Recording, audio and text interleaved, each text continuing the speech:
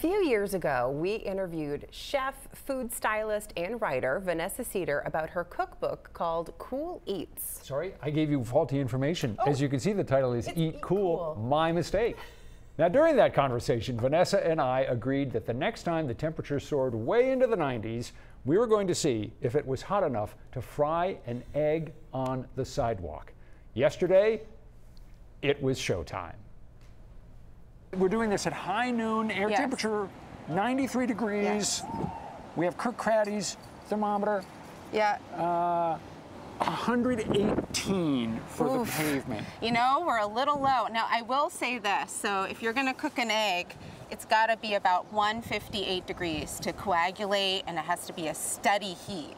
So, this might not work. Only one way to find out. Let's give it a go. Here All we right. go. Always wanted to do this.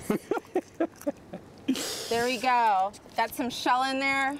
No one's eating it anyway. When you throw an egg into a, a hot skillet, it, it immediately sizzles and cracks and pops Yeah. a little bit. Yeah. We got none of that here. Absolutely not. It's not a good sign. No, no, no. So we're we're So we're here, net but the- zero. the We're, like, negative. Doing well. All right. Yeah. Should we tr- should we try the pan? Should we give it a go? I think we better. I think we got to try one more time. I think we better, Okay, yeah. here we go.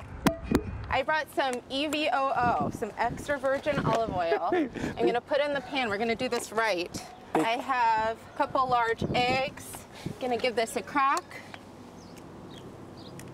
And the skillet has been sitting out here for It 10 has- minutes. yes, it's been sitting in the sun. Soaking up. I got some freshly ground black pepper. we got some flake salt. I got some flake salt here.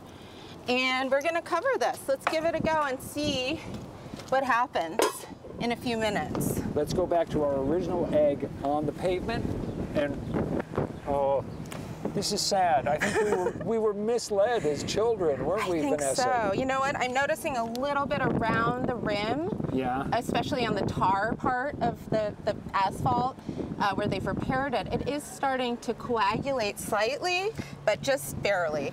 All right, what are you Yeah. going to be? What are you going to be eating tonight with your family on this hottest night of the year? What's, Oh, what's on the menu tonight? Yeah, that's a great question. Well, I'm probably, I actually am coming off of, uh, of a health cleanse anyway, so I'm gonna probably be eating a healthy salad. Um, maybe a little bit of grain thrown in.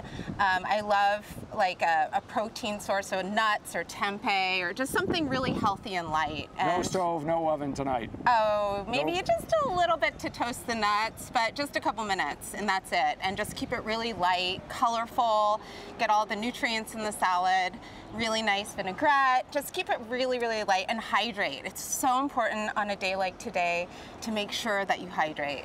Let's check our skillet again. okay. See if we have any activity. Let's see if I even need this. Is it hot enough? No. I don't think I'm you're gonna gonna pretend. get second There you go. Wow. Oh. oh, No, that's kind of sad, isn't it? it's pretty sad. Midday sun, 118 degrees on the parking lot surface, and we have Yes.